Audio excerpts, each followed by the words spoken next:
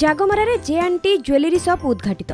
ଆଠ ହଜାର ବର୍ଗଫୁଟ ପରିମିତ ସ୍ଥାନରେ ନିର୍ମିତ ହୋଇଛି ଏହି ସୋରୁମ୍।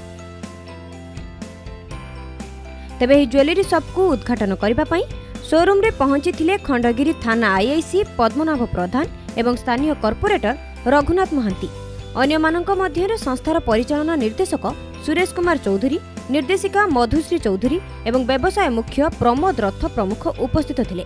ଏହାସହ ଶୁଣିବାକୁ ମିଳିଛି ସଂସ୍ଥା ଆଗାମୀ ଦୁଇ ବର୍ଷ ମଧ୍ୟରେ ପାଞ୍ଚଟି ସୋରୁମ୍ ଭୁବନେଶ୍ୱର କଟକ ପୁରୀ ଏବଂ ରାଉରକେଲାରେ ଖୋଲିବାକୁ ଯାଉଛି। ବର୍ତ୍ତମାନ ବାହାଘର ସିଜିନ୍ ଚାଲୁଥିବାରୁ ଗ୍ରାହକଙ୍କ ଚାହିଦା ଓ ଆବଶ୍ୟକତା ପୂରଣ ପାଇଁ ସଂସ୍ଥା ପକ୍ଷରୁ ବହୁ ଅଫର ରଖାଯାଇଛି। ପ୍ରତି କାରବାର ଉପରେ ଛଅରୁ ଆଠ ପ୍ରତିଶତ ପର୍ଯ୍ୟନ୍ତ ରିହାତି ଦିଆଯାଇଛି। ସେହିପରି ହୀରା ଗହଣାର ସମୁଦାୟ ମୂଲ୍ୟ ଉପରେ ପଚିଶ ପରସେଣ୍ଟ ଏବଂ ରୂପା ଗହଣାର ଗଢ଼ା ମଜୁରୀ ଉପରେ ଶହେ ପ୍ରତିଶତ ଛାଡ଼ ବୋଲି ଶ୍ରୀ ଚୌଧୁରୀ କହିଛନ୍ତି।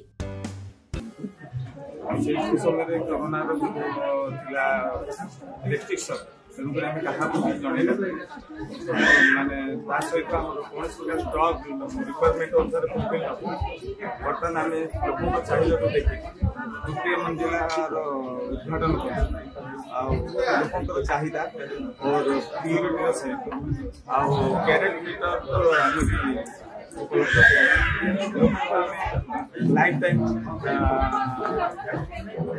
ଲାଇଫ୍ ଟାଇମ୍ ଗହଣାର ରିପାରିଂ ଫ୍ରି ରଖୁଛୁ ଗହଣାକୁ ଟେଷ୍ଟିଂ କରିବା ପାଇଁ ପ୍ୟୁରିଟି ଟେଷ୍ଟିଂ ସିଏ ବି ମାଗଣା ରଖୁଛୁ plus diamond silver and gold ପ୍ରଚୁର ମାତ୍ରାରେ ଭେରାଇଟି ସହିତ ପ୍ୟୁରିଟି ସହିତ ଲୋକଙ୍କୁ ଆମେ